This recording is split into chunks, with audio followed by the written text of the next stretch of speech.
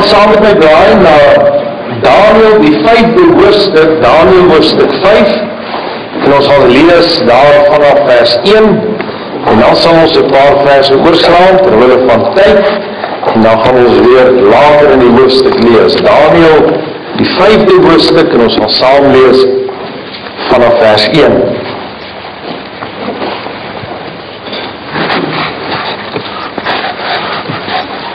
In my Bybel is dit bladsy 890. As jy dalk 'n ander druk het of 'n ander vertaling het, ek het die ou vertaling, dan gaan u bladsy verskil, bladsy 890.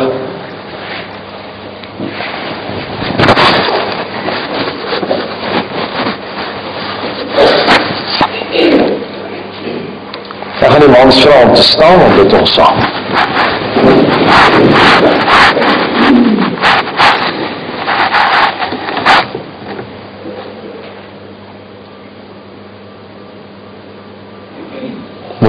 Wonderlike en aanbiddelike Here Jesus. Vanmôre is dit vir ons so groot voorreg om na hierdie groot en hoogpriester te kom want hy het vir ons 'n weg gebaan tot by die hart van die Vader waar ons gemeenskap met U kan hê en dankie dat ons vanmôre dit kan doen wat U vir ons leer in die woord dat ons deur gebed en smeking met danksegging ons begeertes by God kan laat bekend word en dankie dat ons vanmôre kan bid vir ons as 'n gemeente ken ons elkeen, ook elke besoeker wat saam met ons hier is. Dat U vir ons saam, Here, sal toevou in U liefde vir ons sal seën. Deur die Heilige Gees U self aan ons sal openbaar. En dat ons sal bewus wees dat dit U is, Here, wat skielik na U tempel toe kom, die Here wie jy verwag. Dankie dat u vir Willie aangeraak het sodat hom volkome sal oprig. Elke ander een wat siek was in hierdie tyd wat u gehelp het tot hier. Dankie vir dit wat u vir Annie gedoen het en ons nog steeds voorbid. Dankie dat ons na hierdie groot God toe kan vlug. En ons dankie ook dat ons vanmôre kan bid vir Nikki dat u ook vir haar sal seën in hierdie jaar dat u nog 'n jaar by haar lewe bygevoeg het dat sy sal ondervind dat u op 'n besondere manier vir haar seën en ook die volmaakte wil en plan in haar lewe beter bereik. Seën ons saam terwyl ons die woord lees en word u verheerlik om Jesus se naam. Amen. Baie dankie. Daar's so 'n blikkaartjie op die sitplek. Ek sal baie bly wees as jy elkeen dit invul kan dit doen soos die diens aangaan en ook elke gemeentelid en besoeker as jy 'n boodskap het, kan jy dit asseblief vir ons skryf daar. Miskien wil jy 'n versoek verlang, as jy welkom. Jy moet ook vir ons net neer te skryf en dit net om die sitplek te laat as u die saal verlaat. Kom ons lees saam Daniël 5 vers 1. Koning Belshazzar het 'n groot maaltyd berei vir sy 1000 maghebbers. En in die teenwoordigheid van die 1000 het hy wyn gedrink. Nou die genot van die wyn het Belshazzar bevel gegee om die goue en silwer voorwerpe te bring wat sy vader Nebukadneser uit die tempel van Jerusalem weggevoer het, sodat die koning en sy maghebbers, sy vroue en sy byvroue daarin kon bring toe hulle die goue voorwerpe gebring wat uit die tempel uit die huis van God in Jerusalem weggevoer was en die koning en sy maghebbers, sy vrou en sy byvroue het daaruit gebring. Hulle het wyn gedrink en die gode van goud en silwer, koper, yster, hout en klip geprys.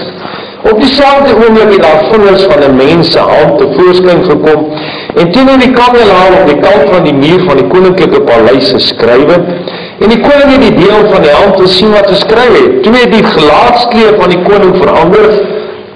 Dis net Belshazzar en sy gedagtes het hom verskrik.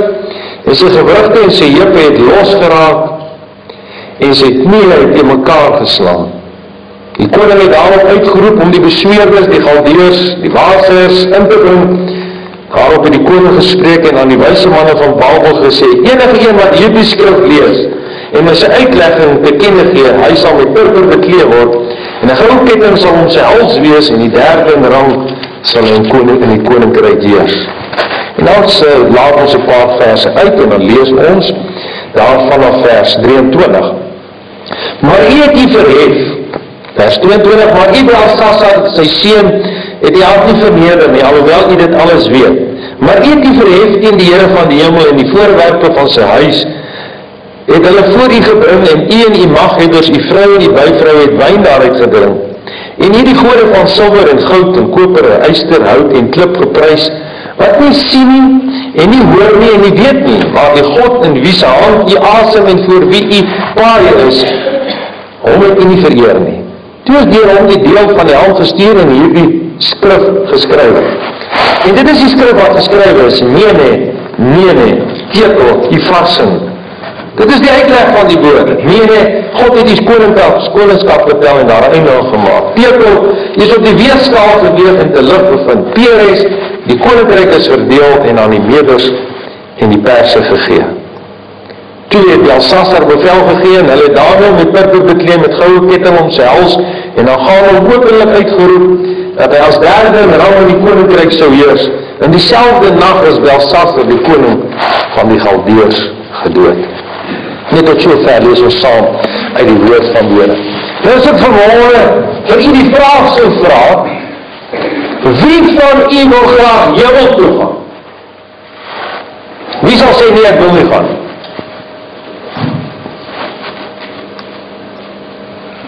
Wie van u wat vanmôre is wil graag hemel toe gaan? Daar's 'n paar ander wat opgaan. Wie van u wat vanmôre hier en sê ek wil glad nie hemel toe gaan? Maar weet jy wat? Ten spite daarvan dat die meeste mense regtig sal erken en sê dat hulle graag hemel toe gaan, nie alle mense hemel toe.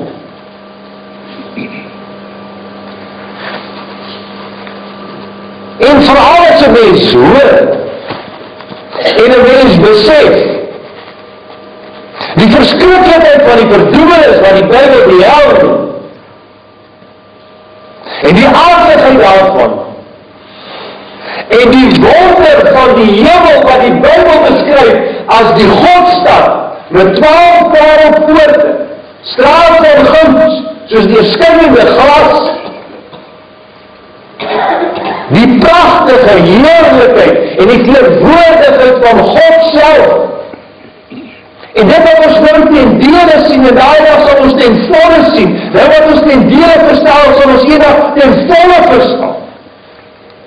Sal daar ooit iemand wees wat sê ek wil nie hemel toe gaan nie. Maar nie alle mense gaan hemel toe nie. Weet jy hoe gaan nie alle mense hemel toe nie? Want God weeg die mens. En dan wat die mens weeg met die skaal van God balanseer. En as hierdie skaal nie balanseer dan sal 'n mens die hemelpoorte nooit sien nie. Weet jy wat is die naakte werklikheid en realiteit van môre? Soos wat ons vanmôre hier in die saal sit, is dit heel moontlik. Dit is moontlik. En dit is 'n werklikheid. En dat nie almal van ons al ons môre op hierdie oomblik op sterwe kom van hemel toe. Weet jy dit? Nie almal wat in hierdie saal vanmôre sit as u nou sterf sal hemel toe gaan. Maar die Here sê vir ons in Matteus 7 vers 13: "Gaan nie die net voor, weet jy voor, weet jy wat dat die verderf is, hier al baie wat daar hemel gaan. Smaal as jy voor, nou is die weg wat in die hemel is. Is hier as min wat dit is. Die smal poort vir min mense en die smal weg. Hulle sê wat 30 mense elke Sondag die evangelie hoor en elke Sondag al die evangelie hoor, is ten minste een mens omgered.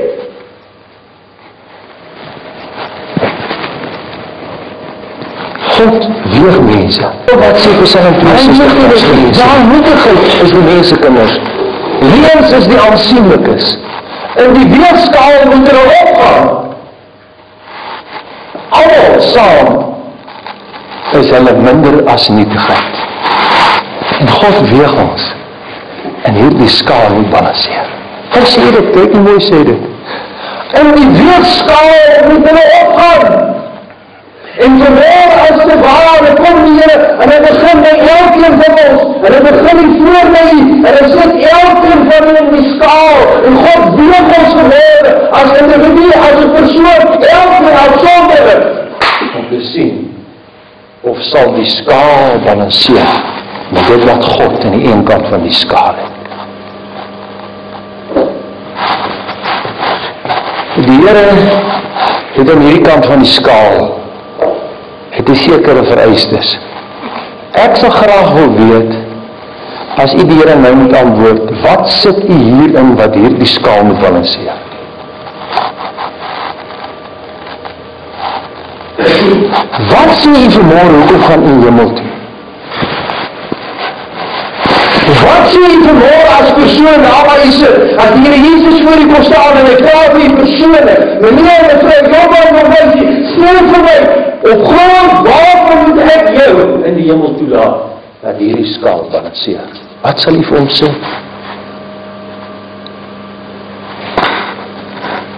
Ons gaan net as ons afsluit daarby kom. Ons vind in die Bijbel, dat een skaal balanceer, want aan die een kant van die skaal sê vir ons in Leviticus 19 vers 36 julle moet 'n regte weegskaal hê. Regte weegstene 'n regte Eva en 'n regte hin dis die weegstene met ander woorde wat doen hulle? Hulle sit die weegstene hierso. En hierdie kant is my lewe maar God se weegstene hier is hulle Hy sit aan die een kant. Ons gaan net daarby kom in die slot. Wat sit God aan die een kant? En dan kom ons en ons sit iets aan die ander kant in die skaal. En dan wil ons hom laat balanceer. Wanneer is die weegstene? En die Here kom en hy sê vir ons, julle moet die regte weegstene hê. Julle moet die regte weegstene hê. Moenie verkeerd versoek sien jou gedagtes hê wat hierdie skaal ter balanceer nie, wat dit kan fataal wees. Want God het behaal in die rechte wees toestel. God het behaal in die rechte wees stede. En wat ons hier in die Bijbel kijk, dan sien ons dat die Heere die mens wees en as sekere mense wat geweeg word in die skaal balanceer nie. Die eerste ene wat God weeg, wat ons in die Bijbel vind, is die vluchtende mens. Is die vluchtende mens. Ons sien dit reg in die begin in Genesis 3. In Genesis 1 vers 27 het die Here die mens gemaak as ons sy beeld en as sy gelykenis. En hy het die mens wonderbaarlik geformeer. En dan lees ons in Genesis 3 vers 1 en die slang was lustiger as al die diere in die veld. En ons ken die verhaal van die slang na Adam en Eva toe gekom het. Eers aan Eva toe en haar verlei het en mislei het en sy geneem het en geëet het en ongehoorzaam was. En toe hierdie vloek uitgespreek word en Adam en Eva in sonde val sê die die Bijbel baie duidelik hulle het gevrees en toe die Heere weer met hulle kom wandel het het hy geroep mens, waar is jy? En op die lewe van God hier die geskiedenis hier, roep die stem van God, mens, waar is jy? Hoor jy hom? Sagies. Sagies. Maar oortuigend. En weet jy wat? Dit was die mens wat in gemeenskap met God gewandel het in 'n wonderlike liefdesverhouding as die Here in die aand winkie kom wandel het en sy teenwoordigheid die tuin van Eden gevul het, was daar gemeenskap tussen die skepper en die skepsel. O, en harmonie en vrede en wonderlike verruklike blydskap en liefde. Maar hulle kruip weg. En vat sy in haar om hulle naakheid te bedek. En weet jy wat sê die Bijbel? Adam en Eva het van die Here af weggevlug. Genesis 3 vers 8 en 9. Hulle het hulle verberg. Hy sê dit twee keer. Mens, waar is jy? Die mens kyk weg. Die eerste mens wat God weeg, is die mens wat vir hom vlug. Hy vlug vir hom. Hy verberg hom van die Here. En in Jona 1 vers 1 en vers 3 en die Here baie duidelike opdrag vir die vir Jona gegee. Hy sê gaan in die stad Nineve, gaan sê vir Nineve, hulle moet hulle bekeer tot die lewende God. Maar wat lees ons sê wat doen die Jona? Jona het weggevlug van die aangesig van die Here af. En kom op 'n boot, beskik op 'n boot op pad na Tarsus. En die Here stuur 'n storm. En hy wees om te vergaan en hy lê onder in die slaap. En die kaptein van die skip sê wat maak jy hoe slaap jy? Hoekom het jy nie op ons jou God en al sê ons help nie? En uiteindelik ken jy die verhaal hoe Jona die persoon en die oorsaak en die rede was van die storm. En uiteindelik toe werp hy hom in die see en die storm het gaan lê. En 'n groot vis kom en hy sluk hom in. En vir 3 dae en 3 nagte was hy in die ingewande van die vis. En die vis spuug hom uit. En die tweede keer kom die opdrag van die Here na Jona toe. Gaan na die stad van Nineve. Dit is my wil vir jou. Toe lees ons hoe Jona gegaan het na die stad van Nineve. En hy gepreek het en die stad tot bekering gekom het. Maar weet jy wat het hy gedoen vir 'n lang tyd in sy lewe? Twee keer sê hy. En Jona het weggevlug van die aangesig van die al. Jona het weggevlug van die wil van God vir sy lewe. En dit is die tipe mens wat God weet en te lig bevind. Die mens wat die wil van God ken en dit nie doen nie. Het jy opgelet wat sê Matteus 7? Baie sal in daardie dag vir my sê, Here, Here, ons het U nou dit gedoen nie. En dan sal hy vir hulle sê, gaan weg dat julle nooit geken nie. Want julle het nie die wil van my Vader gedoen nie. Wat sê 1 Timoteus 2 vers 3, 4 en 5? Hy sê maar dit is goed en aangenaam vir God ons verlosser, want hulle het alle mense gered word en tot kennis van die waarheid kom.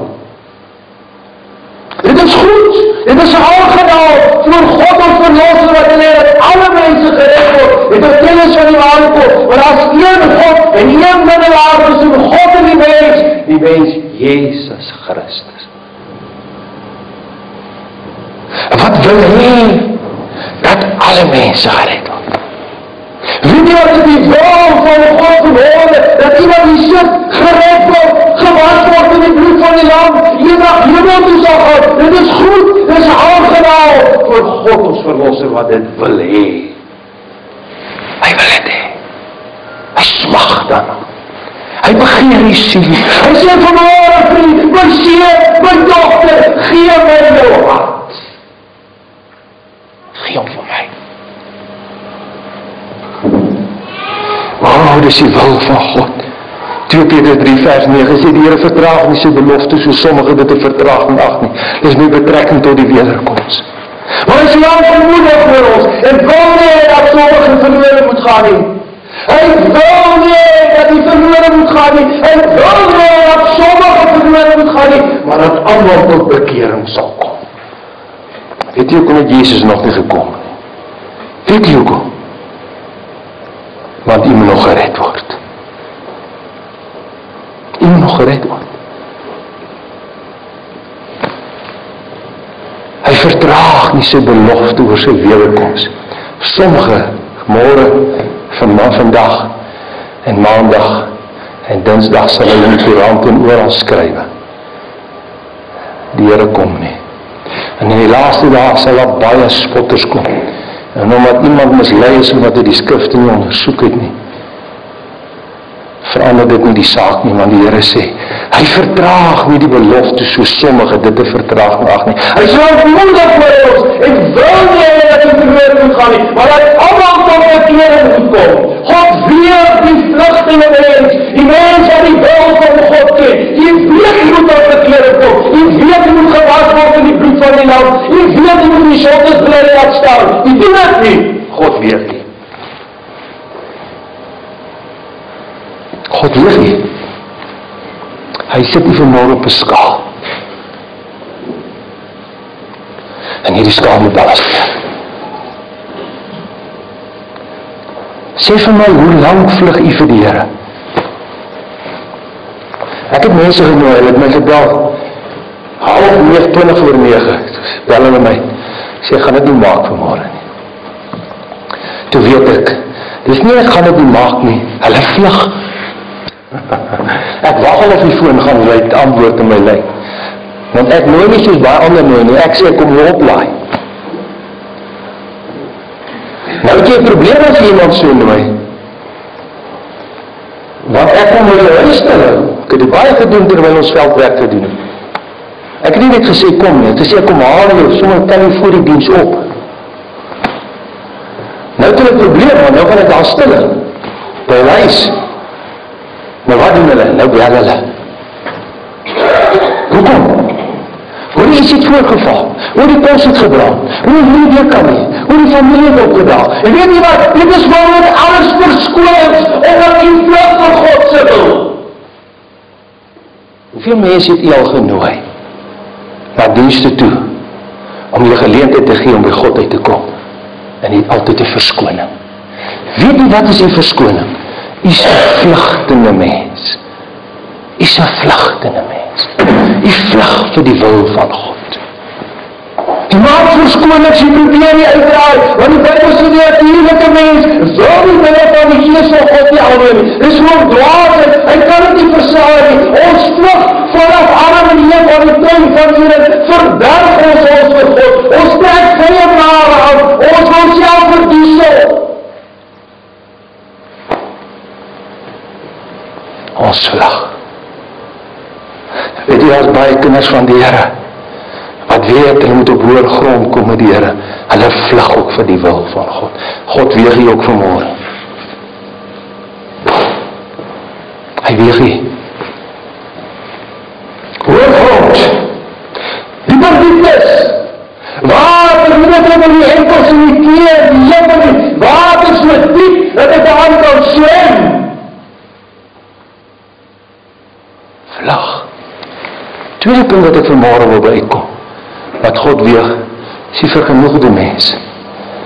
Die vergenoegde mens is die mens wat tevrede is met homself.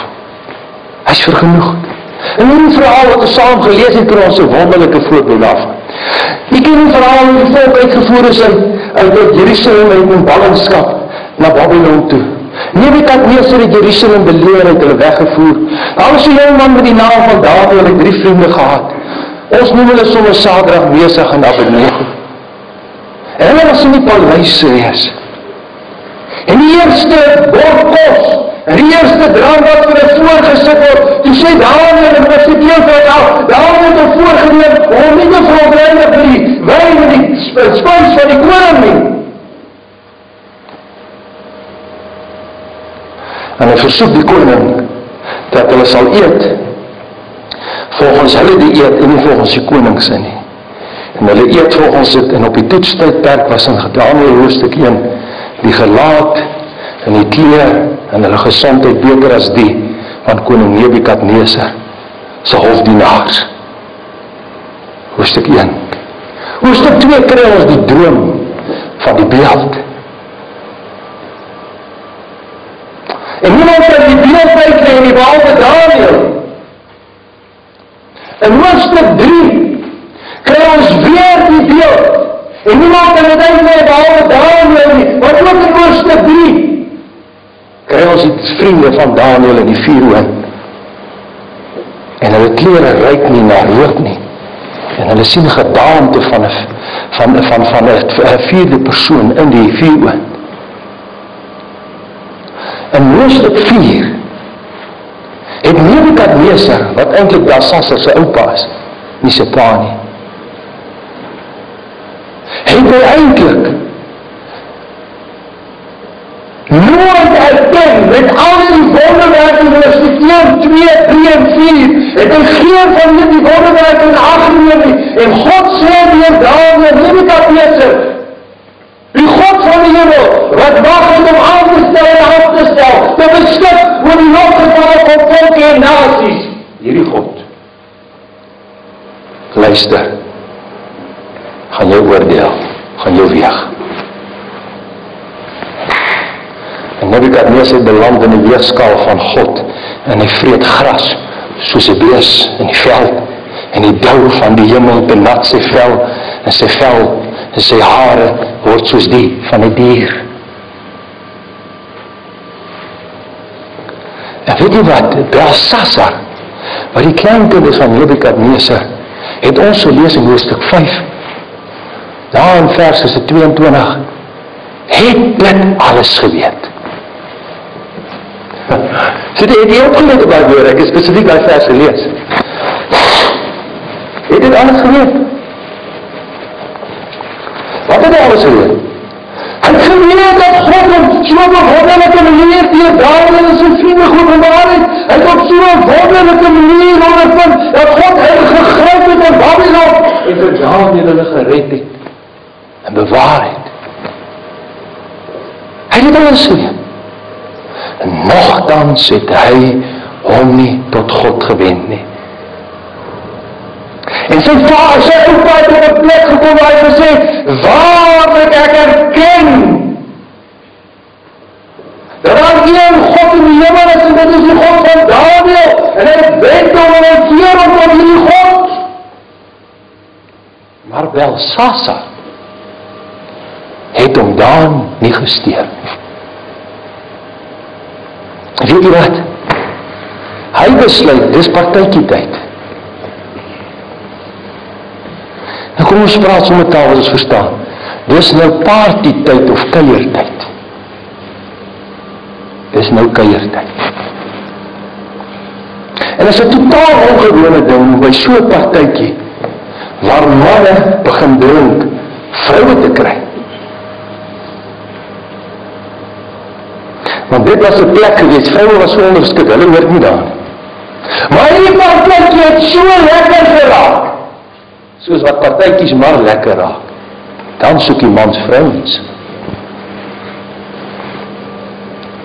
Gaan lees die agtergrond. Vertel jy sommer kort. En toe bring hy die vroue en sy baie vroue, dis soos die haring. Hy bring hulle almal in. Want jy sal onthou dat Ester wou nie ingekom het na die koning toe nie, want dit is die gebruik, hulle kom nie in. Maar daar sit hulle so 'n lekker partytjie en hulle drink en dan baie van die by die by die drink van die wyn is hulle lekker vir van die alkohol en hier is so 'n lekker partytjie. Dat hulle die vrouens opbring. En hulle begin hulle drink uit die goue en die silwer voorwerpe wat hulle weggevoer het uit Jerusalem uit die tempel van God. Dit het ons laasweek na gekyk die hoofpriester en die voorwerpe en die heilige voorwerpe en die goue kandelaar en goed. Hulle vat al daai goed en hulle begin van dit 'n absolute bespotting maak in Babylon. Hulle geniet hulle self. Hulle is tevrede. Wel sal hulle heeltemal genoeg met sy lewe. Hulle is heeltemal tevrede soos hulle lewe. Hulle gee glad nie om nie. Hulle is heeltemal. Dit gaan goed met my. Laat ons eet en drink wat ons sterk ons. Is dit nie wat ons doen? Ons is so tevrede met onsself. Ons is so gemaklik, so knissies, so ons in ons eie lewe en ons sit maar hierdie eie vergenoegdes lewe in die skaal en ons hoop ons sal eendag in die hemel kom. U hoop gaan eindig op 'n asoop. Ek sal die hemelpoorte so nie sien. En weet jy wat is ons probleem? Die meeste mense is geestelik maar net tevrede met waar hulle is. En dis die mense wat God weeg. Hy gaan nie weeg. Jy's genoeg, jy's tevrede, jy's gemaak met jou lewe, alles is reg soos wat dit is. Jy sien nie kans en jy sien nie bereid om jou sonde te bely te laat staan en te breek met jou sonde en te breek met die wêreld. Jy is nie bereid daarvoor nie. God weeg jou. Hy het jou kanse gegee. Weet jy wil ek vir julle vanmôre kom sê? As dit 'n evangelie wat mense vry maak. Dit is die evangelie van die krag van die bloed van die lam wat my verlos, wat my reinig, wat my vergewe, wat my uitroep in die mag van die duisternis tot die wonderbaarlike lig van die seun van God.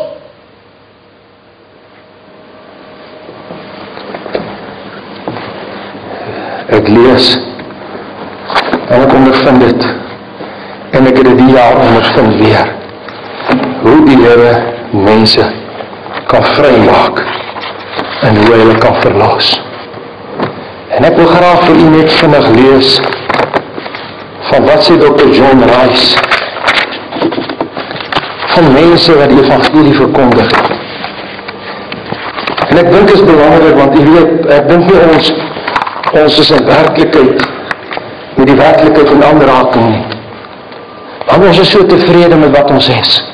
Ons is te veel tevrede met ons kerke. Ons is so tevrede met ons gemeentes. Ons is so tevrede met wat die lees en wat die bid as dit daarvoor dink het. Ek is so tevrede met as dit so bietjie was gedoen, maar gedoen het, as ek nie gewees het nie. Ek is so tevrede. Maar God weet wie.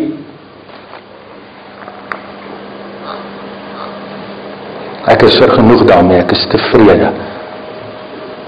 En ek sit waar ek sit. Jonathan Edwards het 'n boodskap gebring, sinners in the hands, in the hands of an angry God. Terwyl hy die boodskap gebring het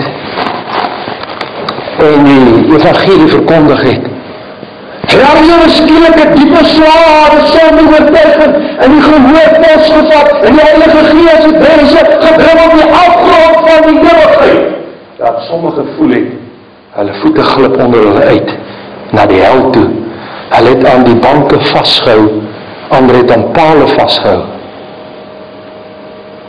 En toe roep een van die ouderlinge uit vir Jonathan Edwards en sê: "Mr. Edwards, isn't there mercy?" Jonathan Edwards, is daar nie genade van God ergens hier is daar? By daai een diens het 500 mense tot bekering gekom.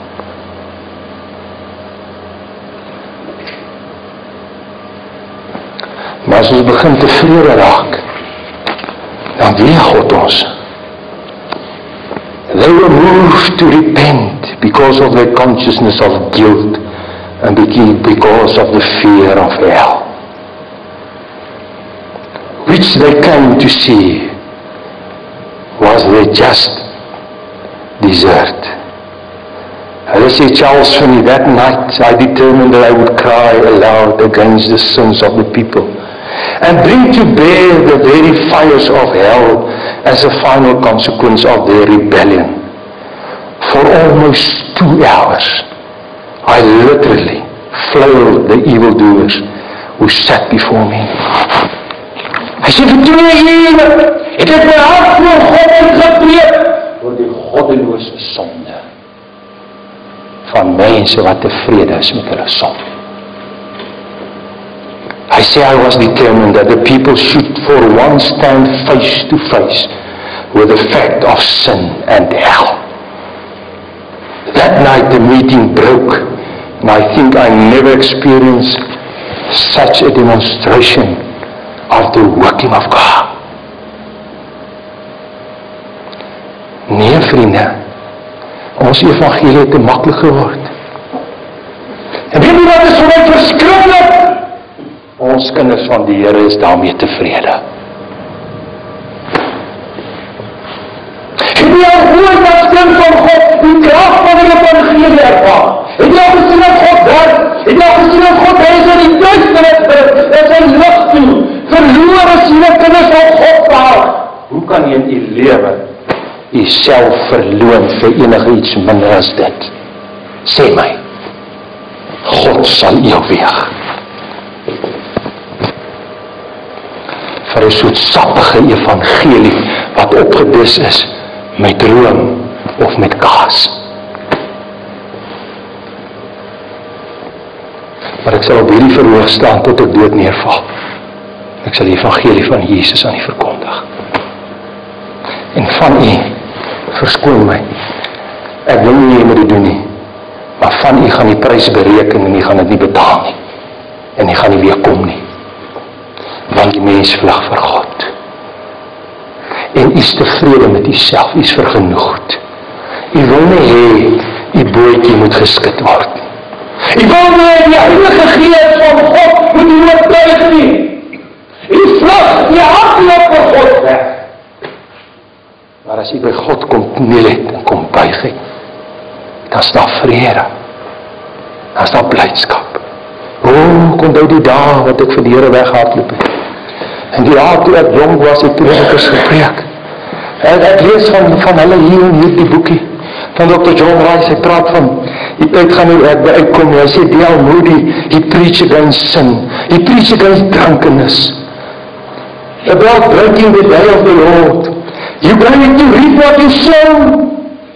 But everywhere he went, he told how drink led to the poor house, to a drunkard's grave, and to hell. Dr. Tory preached against dance, preached against the theater, preached against the lodges. Billy Sunday, get on the water wagon, sermon against the liquor traffic. Everywhere Billy Sunday went, some saloons were closed up. Die Sunday was nie eens 'n formidable teoloog nie. Hy het nie eens mense opleiding gehad nie. Hulle sê in die skriftaal sy mense gepreek, maar waar hy gepreek het, het die kroon toegemaak. Maak ons kroon toe, hulle word meer. Hoekom maak die kroon weer? Want kinders van God is daarmee tevrede. Ons kan maar drink.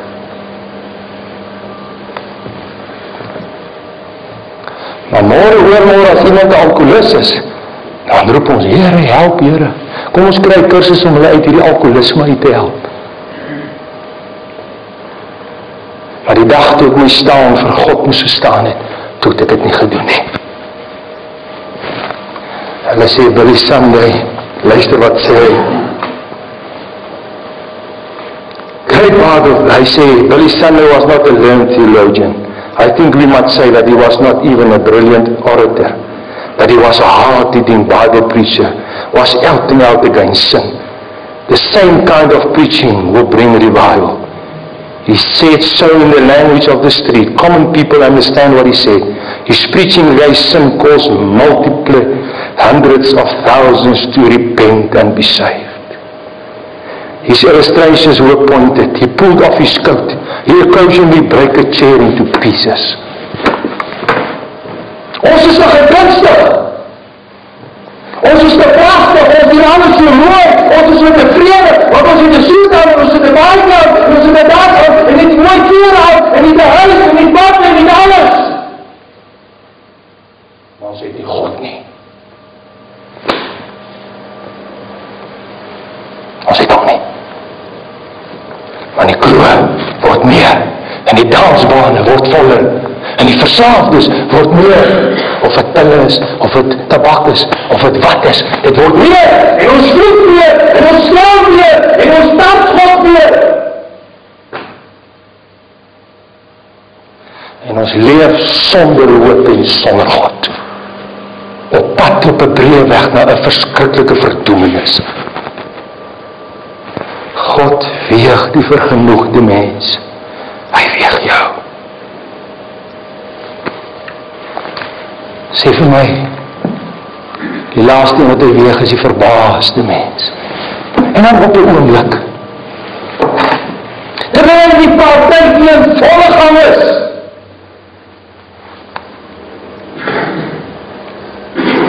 Ek sien van hulle slinge. Ek hoor van hulle so baie slinge. Ek hoor van hulle maak grappies en baie grappies. Ek sien van hulle in ons taal stuur se gestuurde SMS'e. Ek sien van hulle is besig met pornografie. Hulle is besig. En hierdie partye is lekker aan die gang. Kyk al hierdie partye is lekker aan die gang. Hulle is so tevrede. Hulle is so veel ruimte ingeneem en hulle is so groot en magtig is in Babylon. Kom maar ewe skielik op die hand op 'n wit kalkmuur. En hy skryf ook aan die kandelaar wat hulle skryf in kommentaarskrywers sê hierdie hand het 10 teen 1 geskryf op dieselfde muur waar die ere rol van dit wat die konings van Babylon bereik het geskryf het. Jy sien ons daar staan ere rolle daar in die portale. En toe kry God 'n wit stukkie plek tussen hulle en toe skryf hy daar. Mere! Mere! Diego! Vas. Wie lig hy? Vlugtende mens. Hy lig die vergenoegde mens. Hy lig die verbaasde mens. En hier vind ons hom op hierdie stadium. God het u koningskap getel, meen hy. God het jou getel.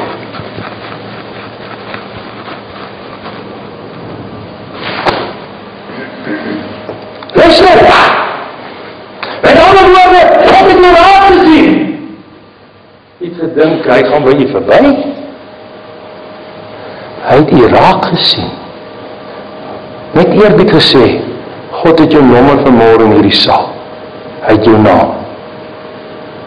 Wat jou naam? Luister dan wat God het jou koningskap getel. Hy het jou raak gesien, hy het jou getel. Hy het jou nie weerskaal gemaak. Verhoor! Tot hier van die verder nie. Luister maar vriendie, oom dan die nog maar nog luisie. God het God jou nie weerskaal getel. Nee nee, nee nee. Tekel. Is op die weegskaal geweeg.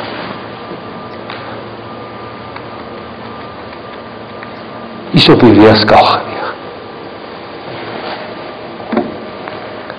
En te lig bevind die skaalkring nie gebalanseer. Dis te lag. Ek kry hom opgetel. Meen my, hy het jou getel. Meen my, tekel, beweeg skaal geweeg. Die vansin! Hy het aan jou koningskap verdeel en daar eina gemaak.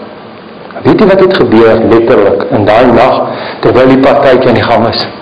Was hulle so veilig gewees in hierdie stad. Niemand kon ooit inkom daar die vyand nie. Dis wat hulle so lekker gerieflik gemaak het en op hulle gerus gemaak het. Toe kom Kores, die koning van die Perse. En hy gaan in die waterkanaal waar die waterkanaal ingebring is met stad en as jy verlees doen. Die enigste probleem was om te saai dat jy water daar kry of by enige ander plek moet jy water daar kry. So jy het 'n versterkte stad, maar dan moet jy water daar kry en hulle toe waterkanaal gehad in. En toe gaan Kores met sy soldate die koning van die Perse en hulle gaan in daai waterkanaal onder deur die stad se mure en hulle kom in en terwyl hulle partytjie toe die vyand deur die waterkanaal ingesypel. En in daai nag het Belsasar gesterf. En die koning die leers in die Perse het Babylon in besit geneem. En hierdie nag sê Daniël vir Belsasar sal God jou koningskap van jou afwys.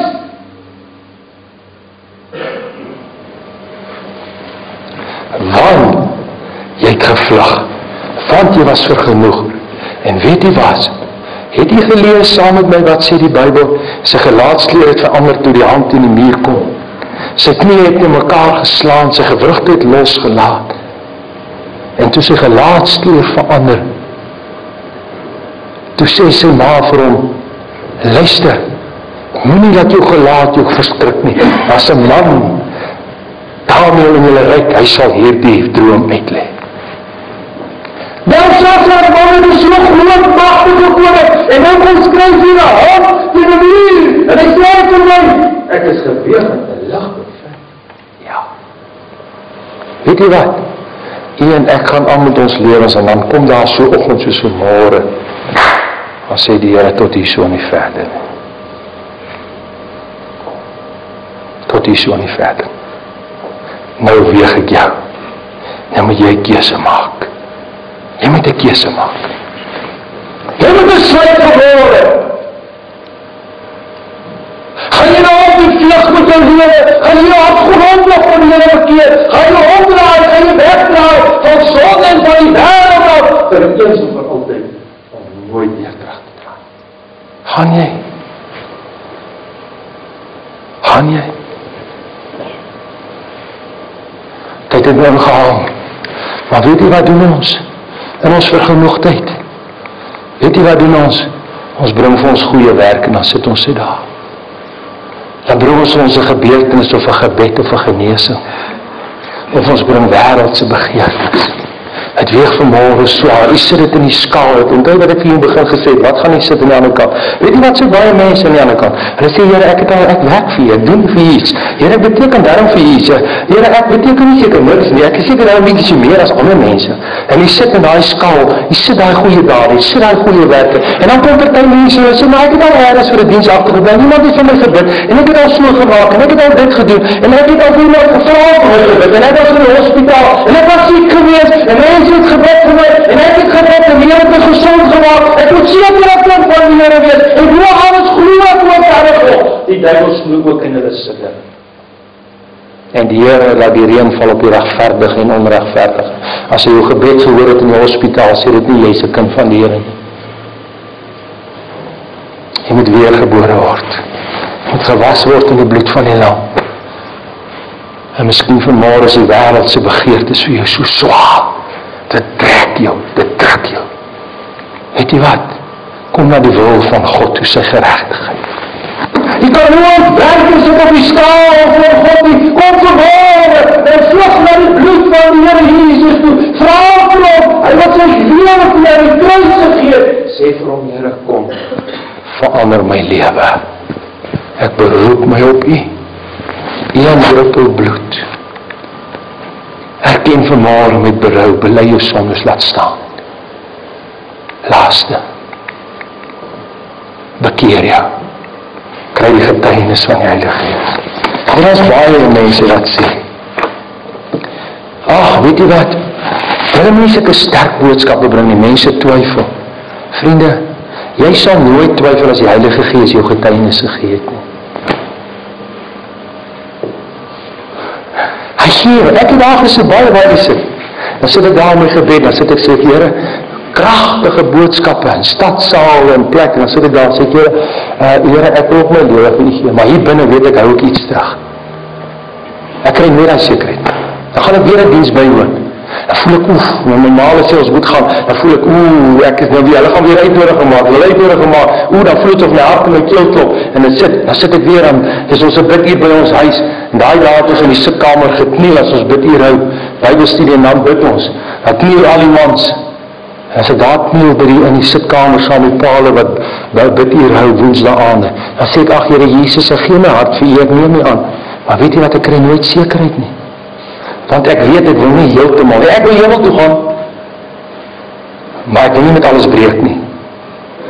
En ek kry dit nooit nie. En jy sal altyd twyfel jy sal altyd vlug jy sal altyd bang wees jy sal altyd onseker wees. Maar jy sal sê ek het eers gebid. Ek het al agter gebly ek het saam iemand gebid. Iemand het vir my gebid. Jy sal altyd 'n antwoord hê jy sal nie in die skaal sit en in die skaal balanseer wat vir my weet nie jy het nog nooit waaragtig met alles gebreek en dan sal u nie die sekerheid kry. Kom vanmôre. Kom vanmôre. Want weet u kom? Ek sal ek rein kan wees by 'n valse weeskaal en by 'n sak vol bedrieglike gewigte. Vanmôre is dit 'n bedrieglike gewig wat jy het in die skaal. En hierdie bedrieglike gewig is besig om jouself te mislei en jy bedrieg jouself dan wanneer jy weet jy het nie die vrede en jy het nie die sekerheid. Almal sê wanneer is die nuwe maand verby? Sodat as ons koring kan verkoop in die Sabbat sodat ons die graanskuur kan oopsluit en die sukkel te vergroot en bedrieglik te handel met 'n valse weegskaal. valse weegskaal is vir die Here 'n gruwel, maar in die regte gewig het hy behaag. 'n Regte weegtoestel en weegskaal kom van die Here. Al die weegstene is in sy sak geberg. 'n Valse weegskaal is vir die Here God te gruwel. Weet jy wat sê Maleagi? Helaas toe is dit. Hy sê vervloek is jy, terwyl jy diere en daar gesonde diere is om te offer, dan bring jy vir my 'n gebreklike dier. Dis 'n gruwel. God haat dit. Sy valse skaal, die valse gewigte, is 'n valse toestel, 'n verwarring dit die hemel ingaan met 'n vals lewe. O, oh, wil nie vir môre hom toe kom nie? Ja, wat terug vertel dokter Willie Marie die ver, verhaal en ek sluit daar. Hy was 'n man. Hy het al sy besittings gevat en verkoop te koop van die pragtigste diamant. En hy gaan op 'n bootreis.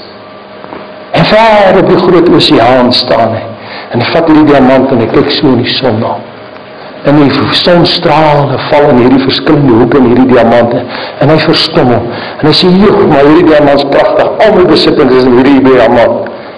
En hy vat hom so Hy gooi hom so op en hy net graag kyk hoe hoe mooi blink dit in die son as dit so afkom. Hy gooi hom op en hy vang hom. Hy eeg in die sonstrale weer kaats deur hierdie diamant.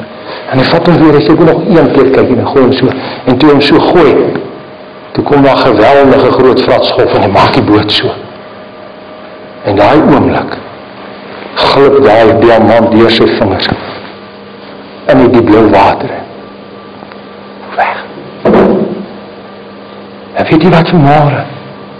Staan u nie met 'n diamant met al u besittings nie. U staan met die onsterflike siel. U staan op 'n boot en u gooi ons op. U sê môre oor môre ander dag. En dan ewe skielik een dag. Dan maak die boot so. Dan begrawe hulle vir u en vir my. Dan dit te laat Amen. Kom ons bid saam.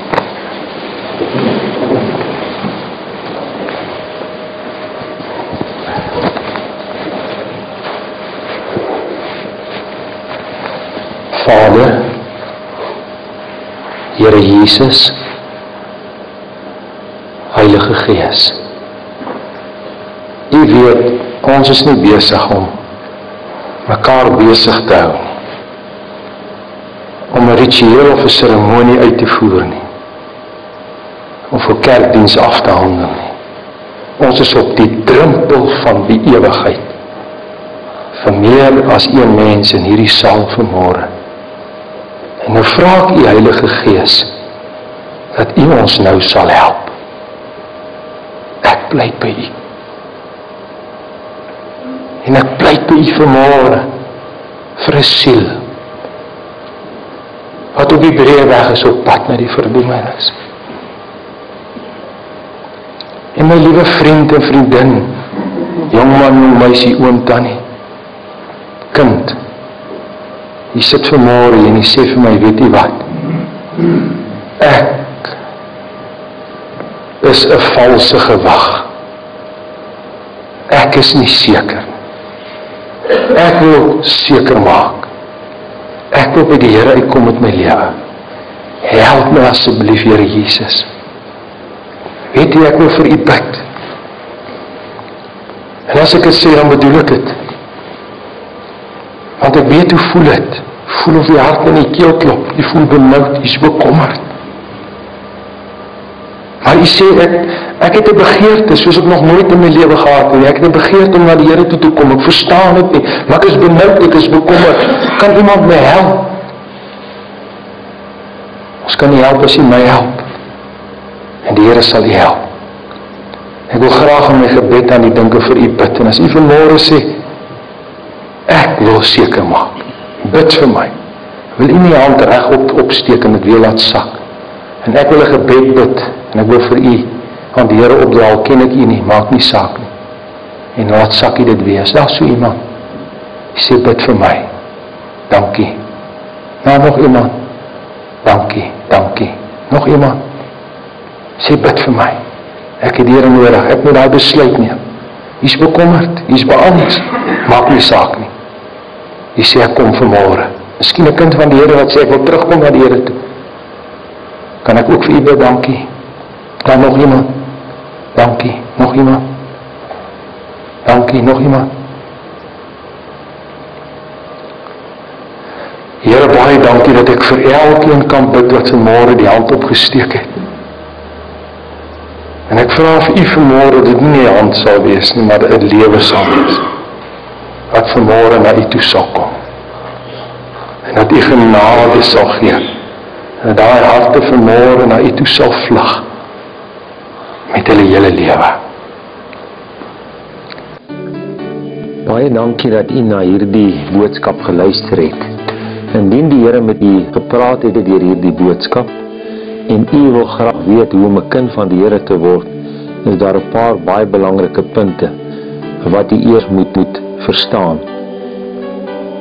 Indien u hierdie stap wil neem, moet u eers na hierdie stappe luister en dit dan deurvolg en daarna hierdie stap neem om die Here aan te neem as u verlosser en saligmaker. Die Here Jesus leer ons in Openbaring 3 vers 20 en ons lees hier hierdie woorde daar. Kyk ek staan by die deur en ek klop. As iemand my stem hoor en die deur oopmaak, sal ek ingaan na hom toe met hom maaltyd hou en hy met my. Hier gee die Here Jesus ons die versekering dat indien hy aan die deur van ons hart klop en ons oopmaak, dat hy in ons lewe sal kom en ons die versekering sal gee dat ons aan hom behoort. Die vraag is, hoe klop die Here? Die Here klop nie deur 'n hoorbare stem nie, ook nie deur 'n droom of 'n gesig of 'n wit lig nie. Die Here klop deur 'n sagte influistering van die Heilige Gees, deur my gewete in my wil. Wanneer hierdie sagte influistering plaasvind in my lewe, raak ek benoud bekommerd en ervaar ek dat my verhouding en my saak met die Here nie reg is nie. Wanneer ek hierdie klop hoor, sê die Here vir ons in Openbaring 3 vers 20, moet ek die deur oopmaak. Die tweede vraag is hoe maak ek die deur vir deure oop? In die eerste plek moet ek erken dat ek 'n verlore sondaar is. Dit is maklik om te erken dat 'n mens 'n sondaar is maar dit is noodsaaklik om nie net te erken dat ek 'n sondaar is nie, maar dat ek verlore is. Lukas 19 vers 10 sê: Die seun van die mens het gekom om te soek en te red wat verlore is. U moet erken dat u 'n sondaar is en verlore is. Verlore beteken dat indien u sou sterwe op hierdie oomblik, sal u nie in die hemel kom nie, maar sal u na die verdoemenis gaan.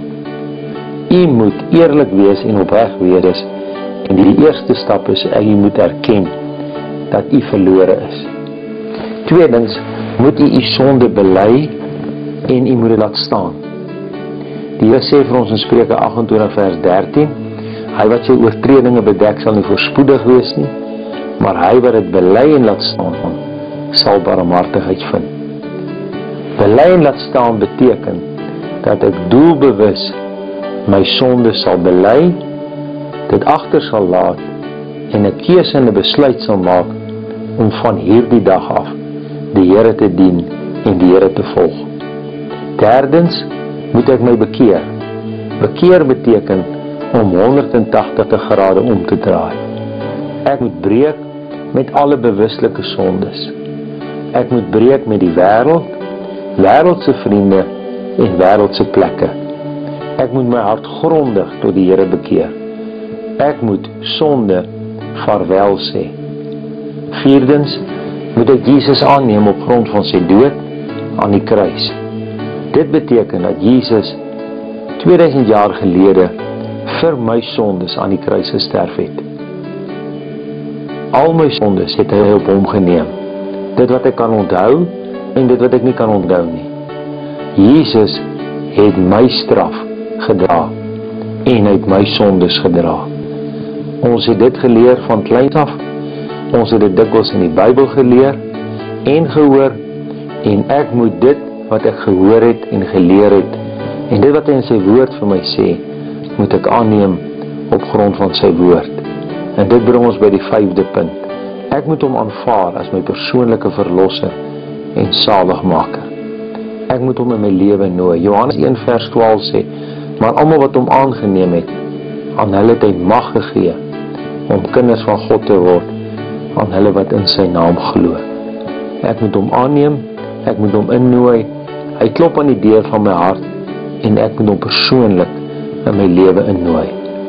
Hoe nooi ek hom in my lewe? Ek nooi hom in my lewe deur 'n eenvoudige gebed te bid. Dis nie die woorde wat tel nie. Dit is nie hoe ek die woorde inspann nie, maar is die motief van my hart. Is ek eerlik? Is ek opreg? Bedoel ek dit? As ek eerlik is en ek is opreg en ek bedoel dit, dan sê die Here en beloof hy in sy woord, dan sal hy in my lewe kom. Indien ek nie eerlik en opreg is nie, dan het ek 'n valse oorgawe gemaak. Dan is dit 'n vals ondervinding. Ons noem dit 'n vals fondament, 'n vals bekering. So dit is absoluut noodsaaklik dat u eerlik en opreg sal bid en u hart en u lewe vir die Here sal gee. Dit is 'n een eenvoudige gebed. Die woorde hoef nie volgens mense se ore presies reg ingespan te wees nie, maar die motief van u hart moet opreg wees. U vra die vraag: Wat bid ek? U kan hierdie gebed saam met my bid indien u dit bedoel en die Here in u hart se deur geklop het en u die deur vir hom wil oopmaak. U kan as volg bid: Here, ek erken ek is 'n sondaar. Ek erken ek is verlore. Ek kom in hierdie oomblik na u toe en kom erken dat ek sonder U geen hoop het op die ewige lewe nie. Ek bid en vra U dat U al my sondes sal wegwas, my sal reinig, my sal vergewe. En terwyl U aan die deur van my hart klop, maak ek vir U oop en nooi U persoonlik in my lewe as my verlosser en saligmaker. Dankie dat U aan die kruis vir my sondes gesterf het. Ek kom in hierdie oomblik en nooi U persoonlik in my lewe as my verlosser en as my redder. Dankie dat U dit doen.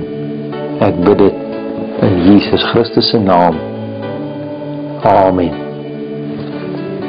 Wanneer 'n mens die Here Jesus aanneem as jou verlosser en saligmaker, dan doen 'n mens dit op grond van geloof en deur geloof op grond van sy woord.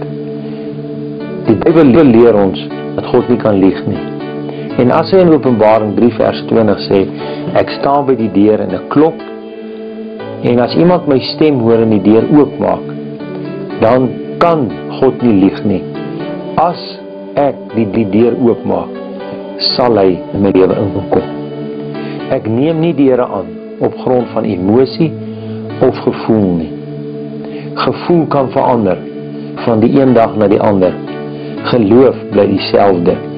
Die Bybel leer ons baie duidelik, hy wat tot God gaan moet glo dat hy is en 'n beloner is van die wat hom soek. Ek kan dit vir u illustreer. In 'n mens se tuin is daar 'n visdammetjie. In die visdammetjie is 'n klip. En ek steek my hand in hierdie visdammetjie om hierdie klip uit die visdammetjie uit te haal. As ek hierdie klip uithaal, waar gaan die water wat in die dammetjie is? Dit vul daar die plek waar die klip is. Wat is hierdie klip? Hierdie klip is my kliphart van sondes. En soos ek gebid het, en wanneer ek gebid het, is dit soos wanneer ek my hand in hierdie dammetjie insteek en hierdie klip uithaal. Die bloed van die Here Jesus reinig my van al my sondes. Hy neem my kliphart van sondes weg. En die water gaan in die plek van die klip. Hoe lank vat dit vir die water om in die plek van die klip te gaan? Dadelik, oombliklik. So werk geloof. Hoe lank vat dit vir die Here om in my lewe te kom? Oombliklik, dadelik. Die oomblik as ek my hart en my lewe vir hom gee en ek was opreg, dan vergee hy my die versekering dat hy in my lewe kom. Ek hoef nie vir hom te sê doen dit nou nou Here en weer 'n keer te bid sê doen dit nou Here Ek moet hom glo. God kan nie lieg nie. Hy hy is nie 'n mens of 'n mensekind dat hy iets sal sê en dit nie doen nie. Dis neem ek deur Jesus aan deur geloof op grond van sy woord. As ek die Here Jesus aanneem, in die agste plek moet ek geestelik groei. Geestelik groei kan ons vergelyk soos met 'n kuiken wat uit 'n dop uitkom. 'n Kuiken as hy uit daardie dop uitkom, is daar nuwe lewe. Daai kuiken moet hen of haan word. Hoe gaan hy dit word? Hy moet groei. Hoe gaan hy groei? Hy moet eet en drink. Hoe hoe eet en drink ons geestelik? Ons moet lees en ons moet bid. Ons moet tyd maak om die Bybel te lees. En dit is goed om te begin met die evangelie van Johannes. Lees 'n hoofstuk, lees 2, 3 hoofstukke. So die Here vir u lei elke dag. En sê dat die Here deur sy woord met u moet praat. Bid, dan praat u met hom. En soos wat u bid, sal die Here homself aan u openbaar. Derdens, om geestelik te groei, moet ek getuig. Romeine 10 vers 9 en 10 sê: Met die hart glo ons tot geregtigheid, met die mond bely ons ons tot redding. As u die Here Jesus nou aangeneem het, moet u so gou as moontlik met die persoon naaste aan u en teenoor so 'n persoon moet u getuig en hom of haar vertel dat die Here Jesus in u lewe is, dat u u lewe vir hom gegee het. U glo dit nou met u hart, maar u moet dit ook bely met u mond. En dan, soos wat 'n mens geestelik vorder, moet 'n mens versigtig wandel. 'n Mens moet waak en bid. En dit is moontlik dat wanneer 'n mens nie waak en bid nie, 'n mens kan struikel. In Johannes 2 vers 1 sê: My kinders, ek skryf hierdie dinge aan julle dat julle nie moet sondig nie. Maar as julle gesondig het, julle te voorspraak by die Vader Jesus Christus die regverdige. Hy 'n verzoening vir ons sondes. Ons as kinders van die Here, maar ook nie net vir ons nie, maar maar ook vir die sondes van die hele wêreld. As ek eers gestruikel het, nadat ek die Here aangeneem het, moet ek oombliklik dit regmaak. Ek moet dit bely. Ek moet dit laat staan en ek moet geestelik verder groei en vorder en toeneem in die genade en kennis van die Here Jesus Christus. Verder om geestelik te groei, moet ek ook moontlik restituisie doen. Dit beteken om iets te gaan regmaak waarvan die Here my oortuig om dit reg te maak. Saggees het gesê, as ek van iemand afgepers het, sal ek dit vierdubbel teruggee. En as dit moontlik is dat u teenoor iemand anders 'n saak moet gaan regmaak, dan moet u dit gaan doen. En die vrede en die sekerheid van die Here sal in u hart kom. Bid vir bevestiging. Soos wat u stilte tyd hou, soos wat u bid, soos wat u Bybel lees, soos wat u wandel met die Here, vra vir die Here om deur sy gees dit wat hy in u hart vir u gedoen het, deur sy gees te bevestig.